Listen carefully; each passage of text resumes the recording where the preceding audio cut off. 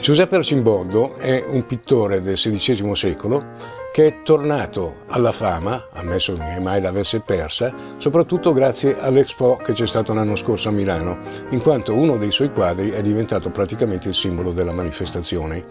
Era noto perché raffigurava personaggi famosi eh, con, utilizzando elementi vegetali, cioè frutta, verdura, eh, che costituivano questi volti grotteschi e, e abbastanza inquietanti. Ma erano, come si ritiene, un parto della sua eccezionale fantasia o forse, come considera qualcuno, questi personaggi esistevano davvero e Arcimboldo li aveva visti? È possibile che questi uomini verdi, questi green men, che a volte compaiono anche in raffigurazioni della, nelle nostre chiese, siano esistiti davvero e magari vivano nascostamente insieme a noi.